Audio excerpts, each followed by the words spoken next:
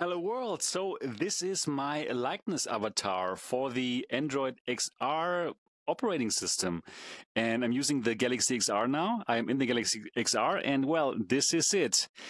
Yeah, obviously this is uh, Android's take on the Apple Vision Pro personas. And hmm, it's okay, I would say. But I see that there's a little delay. Also, yeah, it looks, hmm, it looks okay, but I must say that I do think that personas are better. They're more expressive, and um, yeah, also my teeth. They look too perfect here. They're not. They're good, my teeth, but they are not this good. Also, like my tongue, I cannot like put it out there. yeah, that's what I would like to do now. And um, also these hands. Yeah, okay, they are okay.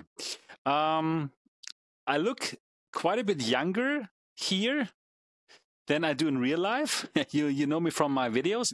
It is similar, but uh, I do feel that's exactly how I felt when I saw the first version of the personas from Apple.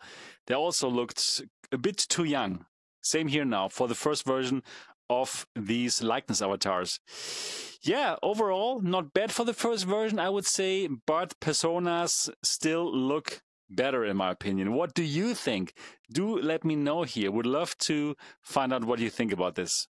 And just as comparison, this is my persona avatar. I've also captured it today, the same day that I captured this on the Galaxy XR for the likeness avatar. And yeah, well, this is the Apple Vision Pro persona. In my opinion, definitely better.